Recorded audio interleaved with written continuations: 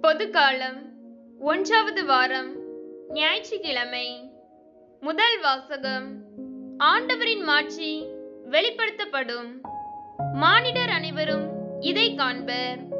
இறைவாக்கினர் எசாயா நூலிலிருந்து வாசகம் அதிகாரம் நாற்பது இறை வசனங்கள் ஒன்று முதல் ஐந்து மற்றும் ஒன்பது முதல் பதினொன்று வரை. ஆறுதல் கூறுங்கள். என் மக்களுக்கு கனிமொழி கூறுங்கள். என்கிறார் உங்கள் கடவுள். எருசலேமிடம் இனிமையாய் பேசி உரத்த குரலில் அவளுக்கு சொல்லுங்கள். அவள் போராட்டம் நின்றுவிட்டது. அவள் குற்றம் மன்னிக்கப்பட்டது. அவள் தன் பாவங்கள் அனைத்திற்காகவும் ஆண்டவர் கையில் இரு மடங்கு தண்டனை பெற்றுவிட்டாள். குரலொளி ஒன்று முழங்குகின்றது. பாலை நிலத்தில் ஆண்டவருக்காக வழியை ஆயத்தமாக்குங்கள். பால் நிலத்தில் நம் கடவுளுக்காக நெடுஞ்சாலை ஒன்றை சீராக்குங்கள். பள்ளத்தாக்கு எல்லாம் நிரப்பப்படும். மலை குன்றியாவும் தாழ்த்தப்படும். கோணலானது நேராக்கப்படும். கரடு முரடானவை சமதளமாக்கப்படும். ஆண்டவரின் மாட்சி வெளிப்படுத்தப்படும். மானிடர் அனைவரும் ஒருங்கே இதை காண்பர். ஆண்டவர் தாமே இதை மொழிந்தார். சீயோனே நற்செய்தி தருபவளே உயர்மலை மேல் நின்று கொள் எருசலேமே நற்செய்தி உரைப்பவரே உன் குரலை எழுப்பு. அஞ்சாதே இதோ உன் கடவுள் என்று யூதா நகர்களிடம் முழங்கு. இதோ என் தலைவராகிய ஆண்டவர் ஆற்றலுடன் வருகின்றார். அவர் ஆற்றலோடு ஆட்சி புரிய இருக்கிறார். அவர் தம் வெற்றி பரிசை தம்முடன் எடுத்து வருகின்றார். அவர் வென்றவை அவர் முன் செல்கின்றன. ஆயனை போல் தம் மந்தையை அவர் மேய்ப்பார். ஆட்டுக்குட்டிகளை தம் கையால் ஒன்று சேர்ப்பார். அவற்றை தம் தோளில் தூக்கி சுமப்பார். சினையாடுகளை கவனத்துடன் நடத்தி செல்வார். இது ஆண்டவர் வழங்கும் அருள்வாக்கு. இறைவா உமக்கு நன்றி. பதிலுரை பாடல் திருப்பாடல் நூத்தி நான்கு ஒன்று முதல் நான்கு இருபத்தி நான்கு முதல் இருபத்தி ஐந்து மற்றும் இருபத்தி ஏழு முதல் முப்பது வரையுள்ள வசனங்கள். பல்லவி என் உயிரே ஆண்டவரை போற்றிடு. என் உயிரே ஆண்டவரை போற்றிடு. என் உயிரே ஆண்டவரை போற்றிடு. என் கடவுளாகிய ஆண்டவரை நீர் எத்துணை மேன்மை மிக்கவர். நீர் மாண்பையும் மாட்சியையும் அணிந்துள்ளவர். பேரொளியை ஆடையென அணிந்துள்ளவர். வான்வழியை கூடாரம் என விரித்துள்ளவர். பல்லவி என் உயிரை ஆண்டவரை போற்றிடு. நீர்த்திரள் மீது உமது உறைவிடத்தின் அடித்தளத்தை அமைத்துள்ளவர். கார்முகில்களை தேராக கொண்டுள்ளவர். காற்றின் ரெக்கைகளில் பவனி வருகின்றனவர். காற்றுகளை உம் தூதராய் நியமித்துள்ளவர். தீப்பிழம்புகளை உம் பணியாளராய் கொண்டுள்ளவர். பல்லவி என் உயிரே ஆண்டவரை போற்றிடு. ஆண்டவரே உம் வேலைப்பாடுகள் எத்தனை எத்தனை? நீர் அனைத்தையும் ஞானத்தோடு செய்துள்ளீர். பூ உலகம் உம் படைப்புகளால் நிறைந்துள்ளது. இதோ பறந்து விரிந்து கிடக்கும் கடல்கள் அவற்றில் சிறியனவும் பெரியனவுமாக வாழும் உயிரினங்கள் எண்ணிறந்தன. பல்லவி என்னுயிரே ஆண்டவரை போற்றிடு. தக்க காலத்தில் நீர் உணவளிப்பீர் என்று இவையெல்லாம் உம்மையே நம்பியிருக்கின்றன. நீர் கொடுக்க அவை சேகரித்துக் கொள்கின்றன.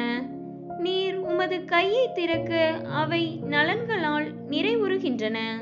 பல்லவி என் உயிரே ஆண்டவரை போற்றிடும் நீர் உமது முகத்தை மறைக்க அவை திகிலடையும். நீர் அவற்றின் மூச்சை நிறுத்திவிட்டால் அவை மாண்டு மறுபடியும் புழுதிக்கே திரும்பும். உமது ஆவியை நீர் அனுப்ப அவை படைக்கப் பெறுகின்றன. மண்ணகத்தின் முகத்தை புதுப்பிக்கின்றீர். பல்லவி என்னுயிரே ஆண்டவரை போற்றிடு. என்னுயிரே ஆண்டவரை போற்றிடு.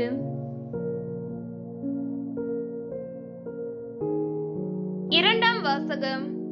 புதுப்பிறப்பு அளிக்கும் நீரினாலும் புதுப்பிக்கும் தூய ஆவியாலும் கடவுள் நம்மை மீட்டார். திருத்தூதர் பவுல் தீத்துவுக்கு எழுதிய திருமுகத்திலிருந்து வாசகம் அதிகாரம் இரண்டு இறை வசனங்கள் பதினொன்று முதல் பதினான்கு மற்றும் அதிகாரம் மூன்றில் நான்கு முதல் ஏழு வரை. அன்பிற்குரியவரே மனிதர் அனைவருக்கும் மீட்பராம் கடவுளின் அருள் வெளிப்பட்டுள்ளது. நாம் இறைப்பச்சின்மையையும் உலகு சார்ந்த தீய நாட்டங்களையும் மறுத்து கட்டுப்பாட்டுடனும் நேர்மையுடனும் இறைப்பச்சுடனும் இம்மையில் வாழ இவ்வருளால் பயிற்சி பெறுகிறோம். மகிழ்ச்சியோடு எதிர்நோக்கி இருப்பது நிறைவேறும் என காத்திருக்கிறோம். நம் பெருமைமிக்க கடவுளும் மீட்பருமாகிய இயேசு கிறிஸ்துவின் மாட்சி வெளிப்பட போகிறது. அவர் நம்மை எல்லா நெறிக்கேடுகளில் இருந்தும் மீட்டு நற்செயல்களில் ஆர்வமுள்ள தமக்குரிய மக்களாக தூய்மைப்படுத்த தம்மையே ஒப்படைத்தார். நம் மீட்பராம் கடவுளின் நன்மையும் மனித நேயமும் வெளிப்பட்ட போது நாம் செய்த அறச்செயல்களை முன்னிட்டு அல்ல.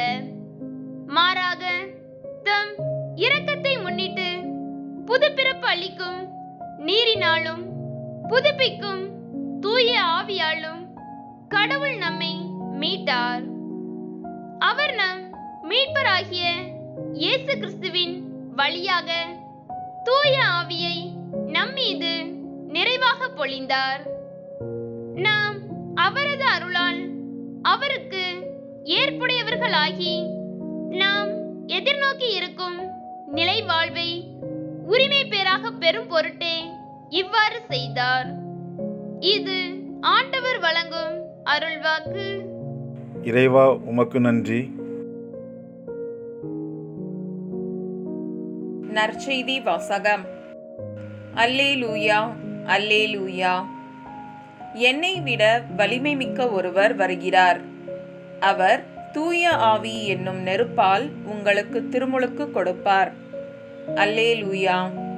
புனித லூக்கா எழுதிய நற்செய்தியிலிருந்து வாசகம் அதிகாரம் மூன்று இறை வசனங்கள் பதினைந்து முதல் பதினாறு மற்றும் இருபத்தி ஒன்று முதல் இருபத்தி இரண்டு வரை.